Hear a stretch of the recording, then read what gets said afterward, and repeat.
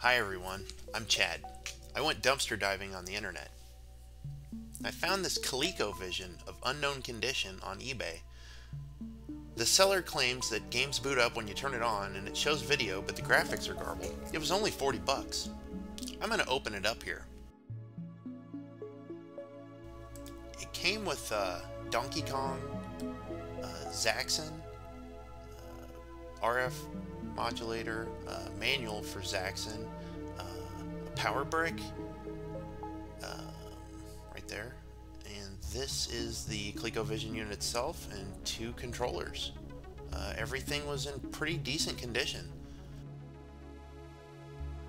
The ColecoVision was a second generation video game console that premiered in 1982 and sold over 2 million units. There were 145 games released in the United States. The main CPU was a Zilog Z80 CPU operating at 3.58 MHz and had a 1K system RAM. The graphics chips was a Texas Instruments TMS 9918 with 16K of system RAM.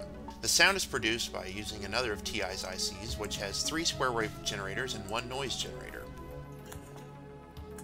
Okay, I'm gonna test the voltages on this thing before I try and plug it in and see what happens.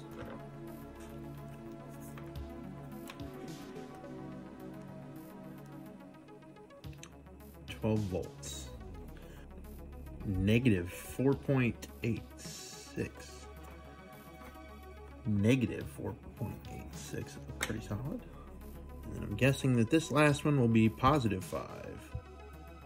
512. Solid. Bang on.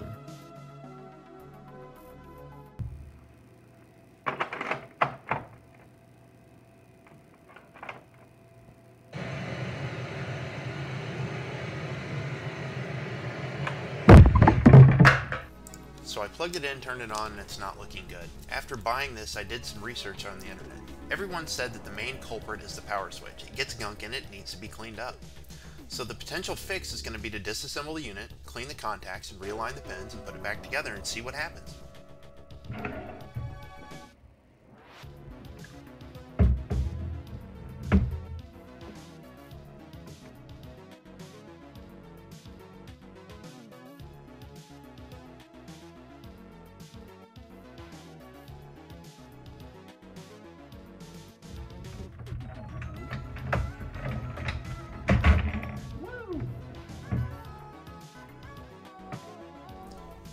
Got the case off. Um, still need to take off this RF shielding. Two screws are holding it in. See, it's still stuck to the board. It's soldered to the board over here at this point, so we just add a little bit of fresh solder and heat it up. Wiggle it, it'll come off. Of the switch. Uh, let's get the board out of the case. Two more screws still holding it in. Okay, I've got the board completely out. Uh, locate the switch. Uh, things always go better when you start with a clean surface. I'm using the purest isopropyl alcohol and a paintbrush here.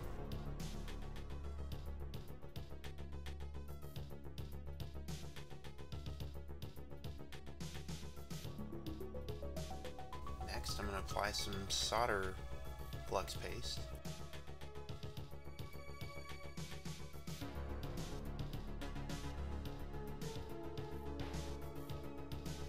And then I add fresh solder to the joint. Let it flow. And I'm going to suck it out using just a solder sucker. Keep doing that until it's get it all out. Uh, some of them were a little more stubborn.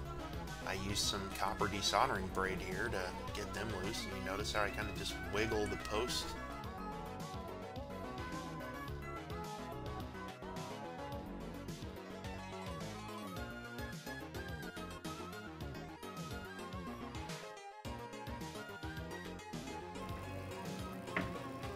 Finally get the switch out. Coming out. It's out. Mm, out.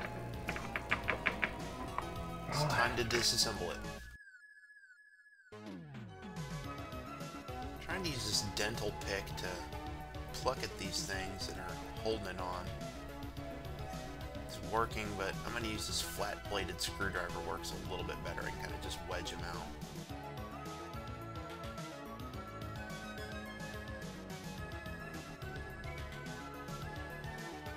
Pop, there goes. It's part. Now it's time to get all that crap off of there. Once again, using the trusty 99% IPA and my paintbrush. It's not static sensitive, guys. I'm using a uh, dental pick right here. Getting that crap off. It's working. Each one of them. Then I got out a metal file and just kind of ground some of that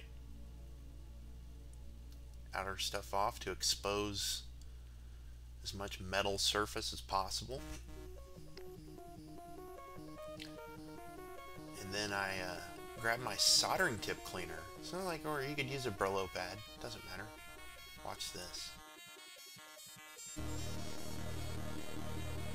Bling! It's shiny.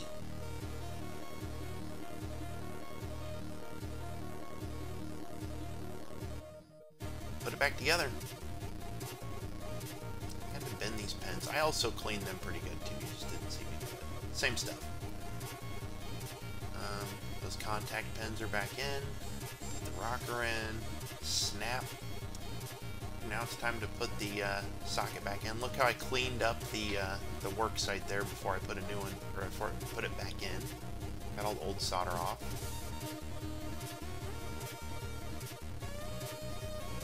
Action feels good. Switches. Going to just add some fresh, clean solders. Heat it up and solder it back into place. Now it's time to test it out and see if it works.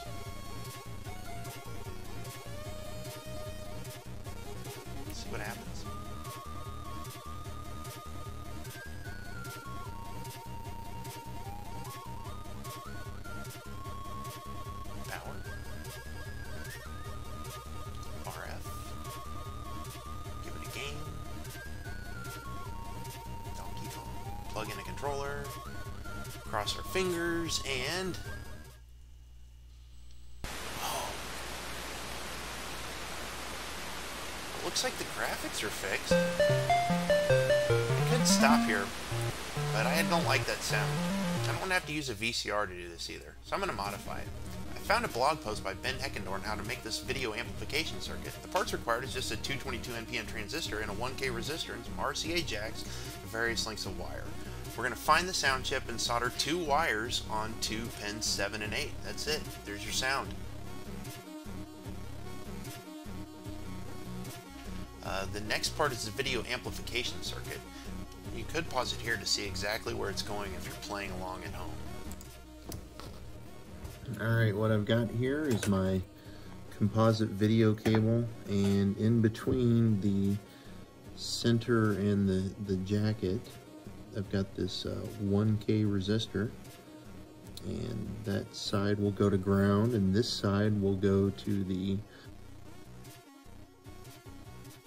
the emitter side of this uh, transistor here that I've bent the legs on it and stuff and trimmed it down. So I'm just going to solder these two pieces together right here and then that side will go to ground and then we'll put the rest of that on uh, on the board.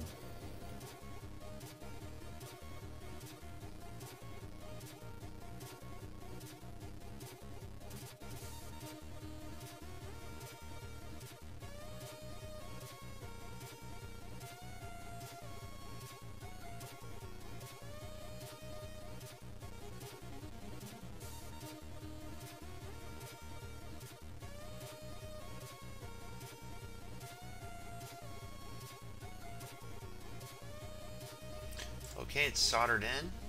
Um, I'm going to put the RF shield back on here. Hopefully you routed yours through so you don't have to do that twice.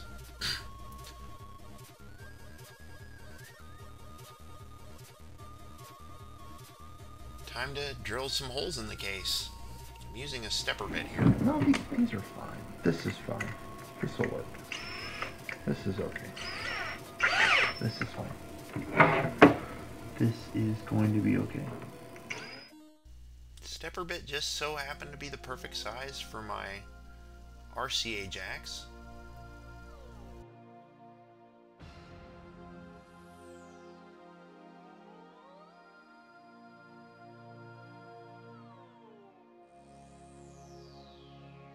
So here I'm gonna go ahead and screw them all in.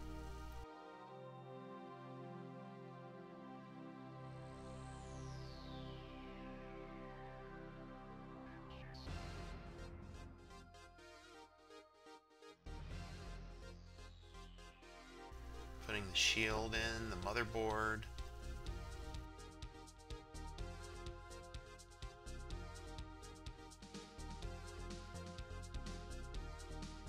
Put all the screws back in.